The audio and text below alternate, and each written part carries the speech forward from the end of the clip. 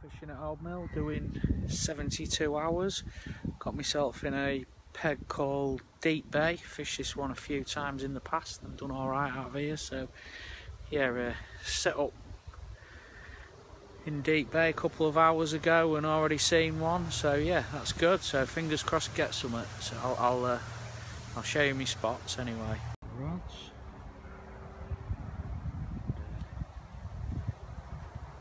one down that margin. That cuts out in them trees. Just there. Middle rod over into that corner there. To be honest, the right hand rod just underarm flip that about 30 foot straight out in front with the idea of intercepting out that comes through that channel to the right there so yeah here for 72 hours hopefully can catch something be nice. Casted the uh, once that far corner over there. Took a couple of casts just to get it right and uh, yeah about 10 minutes later a big big big fish boshed over the spot. So yeah it's looking uh, it's looking relatively promising. So fingers crossed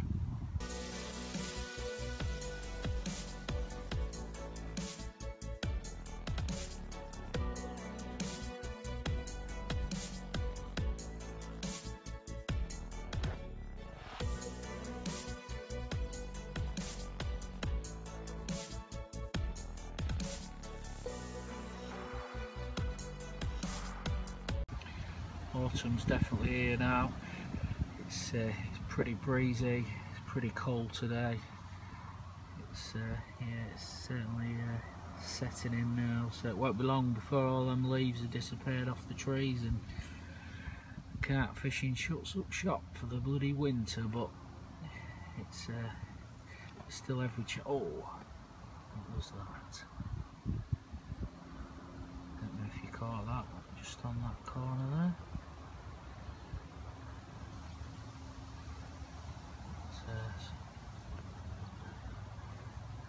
Not bosh then. So yeah, the fish are still about, that's for sure. They're still on the move, so there's every chance to catch a few uh, few carp in autumn while they're at the nice big weights and uh, looking pristine. But yeah, it's certainly starting to get chilly. The uh, I doubt I'll be wearing the shorts again this year, shorts and t-shirt. But yeah, it's uh, it's nice to be out though.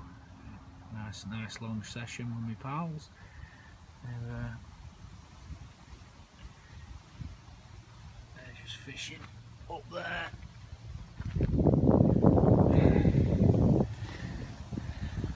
There's three of us on in total on there, another one a bit further round so can't get that close proper social or anything but yeah, at least if uh, somebody catches something we can go over and share the experience with them. So that's always good fingers crossed the uh, plays ball for one of us, that's for sure.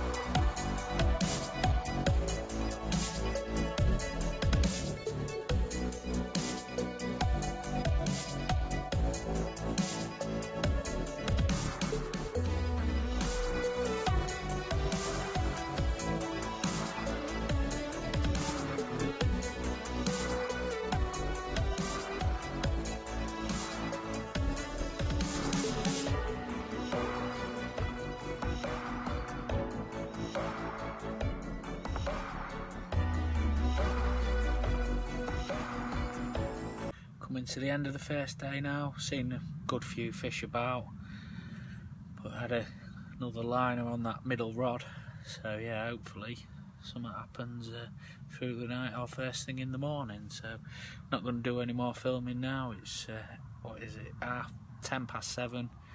Pitch black out there, but yeah, it's uh, hopefully catch one soon and uh, catch it on film. So, happy days. Catch you later. Bye just going that little oh,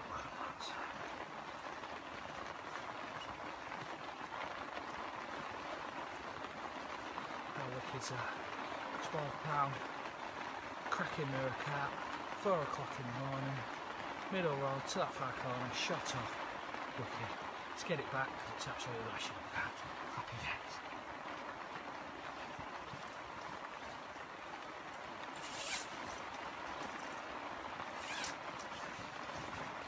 Check fins.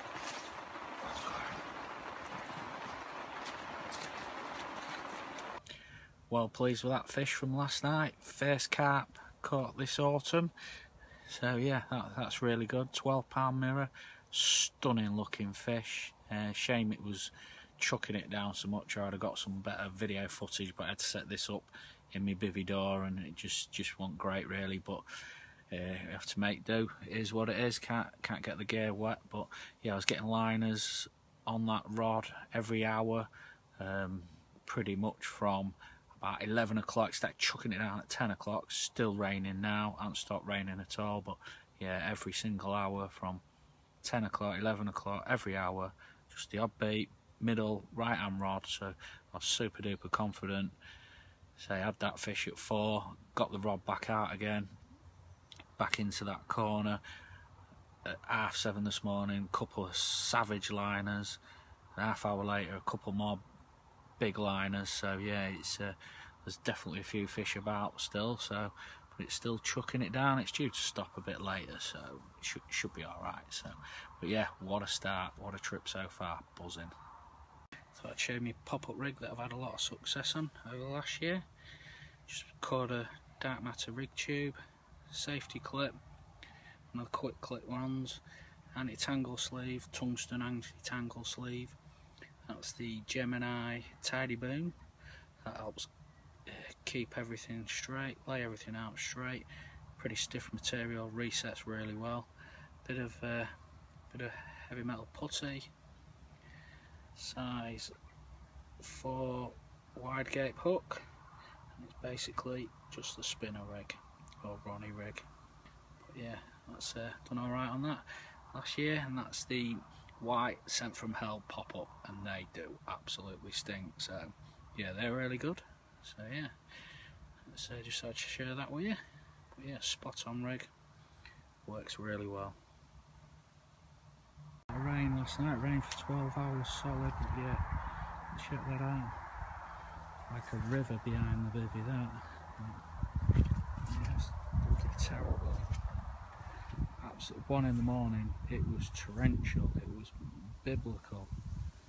Right it's six o'clock at night halfway through the second day halfway through the uh, 70 hour two hour trip and uh, I've decided to move. So I've come off the old lake so I'm going to finish this vlog and um, do the first half on the old lake as part one.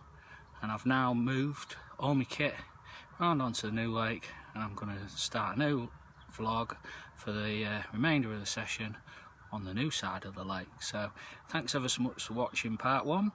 Um, please hit the subscribe button, it really does mean a lot to me. Uh, when I get extra subscribers, uh, it really is awesome. So yeah, massively, greatly appreciated. So yeah, please hit the subscribe button. I'll try and put that there, but anyway, that probably won't work, but you never know. But yeah, thanks ever so much for watching. One fish, part one, on 12 pounder, happy days please join me and come back and watch part two of the 72 hour trip to Old Mill Lakes. Thanks for watching, take care, bye bye.